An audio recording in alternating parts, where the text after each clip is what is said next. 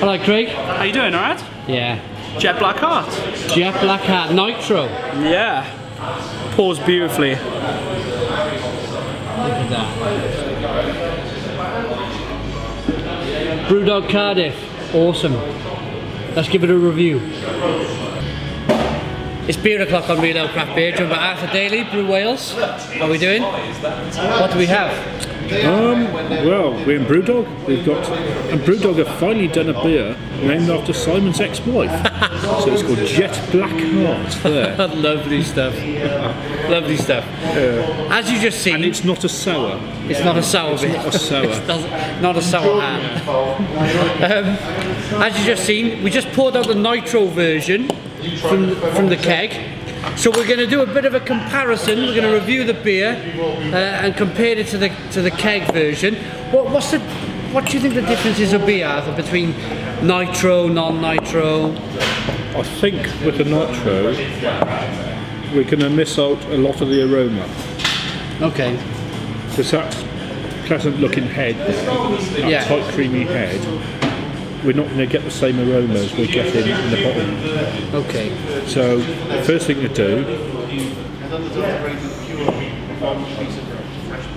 just do a comparison of the two. Smell it. It's an oat, around. it's an oatmeal milk stout at 4.7% ABV. Okay, you're getting some aroma there, but there's a lot more in, in the bottled version. There is, there is, yeah. So chocolate, Lots of chocolate, lots of oatmeal. Um, very sweet. Picking up a lot of sweetness. um, in that not, not in the aroma. It's almost licorice I'm picking up there. Absolutely. I, I wish I had smell-o-vision to absolutely smack on what Arthur Arthur's saying. So the nitro version, that tight creamy head is kind of stopping the aroma coming out.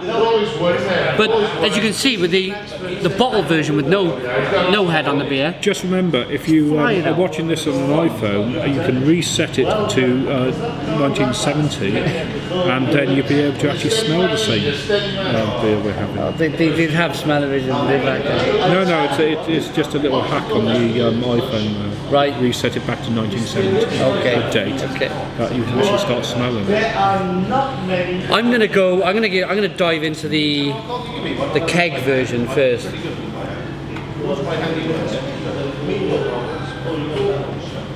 Oh It's very smooth, isn't it? Mm. Chocolatey.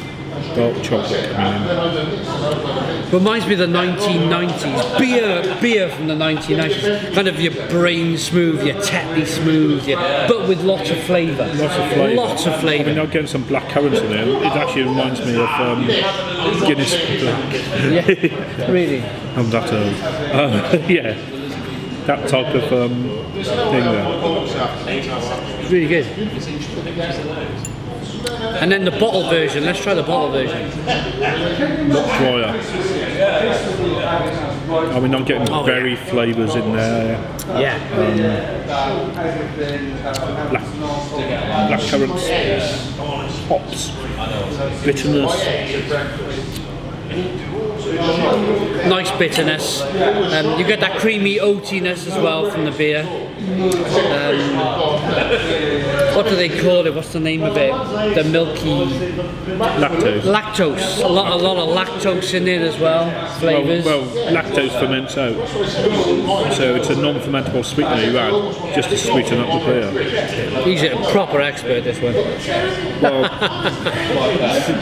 I think the European Union um, outlawed the name milk, milk stout because it didn't contain milk some years ago. Right. Um, Okay. Another reason to leave the EU. if, if we need another reason. I'm sorry, I'm not turning, trying to turn this into anything political. No, no. But why are we in it?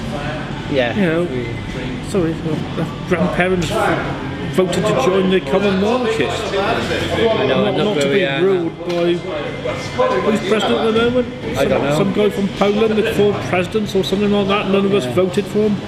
Anyway, that's another thing. That's I know, another I'm story. on now, but the, Another story. So, um, I got to ask. Sorry to put you on an awkward spot.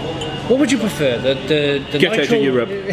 Get, out, out of Europe. Get out of Get out of Europe. The, the, the nitro version, or the on keg, or the bottle version that's unnitro. I'd prefer the bottle version because there's more flavour to it. Yeah.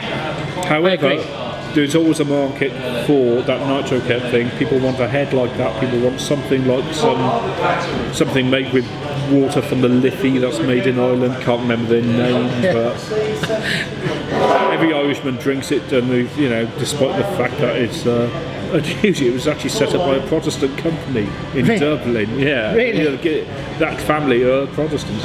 Oh right. So Okay. um, Another story. it's yeah, it's something in Boston they seem to forget about. yeah. Okay. Okay. Yeah. yeah. So my family run Boston anyway. So Right. Mayor Daley and all that type of stuff. So, Sorry, that's Chicago, So- is it? I, I get confused with America. It's it's a bit big. It is a bit big. Yeah, it's Lots not like it's not like here. Have some more beer. Have some more beer.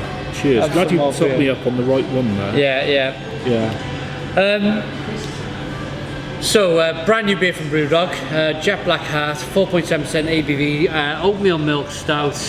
Yeah, it's, it's classic Brewdog. Uh, is it any different from any, any other of the milk stouts that you've tried? Is it better than, say, your, your Samuel Smith's? Samuel Smiths don't do Oatmeal a milk, stout. uh, They do an oatmeal stout. They don't do a milk stout. I mean, uh, Bristol Beer Factory Leffe? do a um, yeah, yeah. milk stout. Why, why are we swearing here? Bringing Leffe in? Yeah, yeah, we shouldn't Yeah, be. that's brewed in Leuven, if you know. Uh, left hand. Left hand. sorry, milk. not Leffe. Left hand do don't think milk I tried their milk stout. But then, then again, this one. Do you want me to put it at the? Hmm, I like it. I like everything Brewdog do. Yeah, You know, Agree. I've- You know, I keep having to try their beers just to find one I don't like. yeah. It's a very difficult job to do that. I want to find one eventually that I don't like. Yeah. I have to come in Brewdog and just try all their beers to find one I might not like. Mm, I agree. There's, And their it- beers are I, st- fantastic. I still can't find one. it's great. Yeah. Rating. Rating. I'd give this 9 out of 10 for the bottled version. For the Nitro Keg version, I'm going to go down to 6 for that. Because I'm thinking it's missing a lot in the aroma. It's missing quite a bit in the taste there. But then again, there is a demand for people because they're used to drinking something from Ireland that looks like this, and they want to dumb down something something with a nitro head. Yeah. Yeah, I, I agree. You know, I'm old enough to remember when that certain brewery in Ireland used to actually produce a beer that tasted of roast barley in it and had flavour in it, rather than what it became. Yeah, Which is just the marketing person's dream of a bland beer and a flavour to and not fla- it wasn't even a flavour. They got rid of flavour for it, Yeah. and they just sold it um, as the experience of drinking it. So I'm not. That's why I'm not a fan of nitro keg. It's you know it's all done on the appearance with very little flavour. Flavour's still coming through here. I would still drink this if I had you know nothing else on there. On you know on that on Yeah. Brewdog we got loads to choose plenty of other here. different beers to choose So from. I'd never drink this in a Brewdog pub. It was in another pub instead of that other company. I'm trying not to name them. I've probably named them already. Um, I'd probably drink it. It is pleasant enough, but the bottled version is far better. In my opinion, It's far more flavour in the bottled version than there is in the nitro keg version. Yeah, totally agree. Totally agree. Lots of flavour. Uh, this is a very different drink to the, to the to the beer that's from the bottle. So yeah, six and a nine. I agree with Arthur. Um, I hope you like this mini series. Um, we might make one more video. I'm going to ask him off camera before I get him back on. But uh, but uh, thanks, Arthur. Check him out on Brew Wales. Um, what's your yeah? It's Brew Wales. You'll find him Brew Wales. I, I don't update it any longer. Yeah. I, I use Facebook, I use Twitter. now. Untappd. What's your Untappd name?